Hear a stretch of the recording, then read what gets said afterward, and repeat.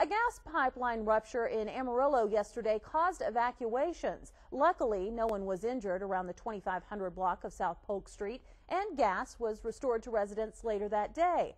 Pro News 7's Janice Yu joins us with more information on gas pipelines. Janice?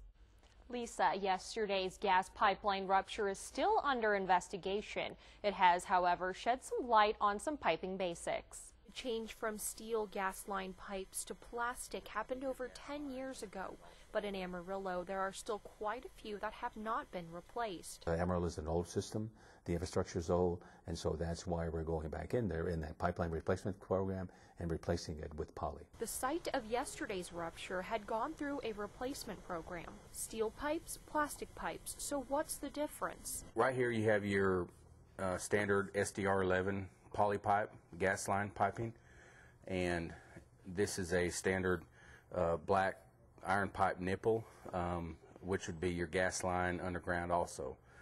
It's more durable and the lifespan is a lot longer than steel because with the steel line you have natural corrosion. The, uh, the elements in the ground, moisture and everything else that comes around it will start corroding the pipe. Plastic pipes are only sold to plumbers, so homeowners can't install them on their own. They also need to be installed with a tracer wire. so that you can come back in the future and hook a monitor up to that and be able to find the piping. Lines that aren't marked properly can lead to ruptures and other complications. Atmos Energy and Scottco Plumbing both urge the importance of locating the pipelines before doing any yard work. This can be done by calling Texas 811. Lisa, back to you. Janice, thank you.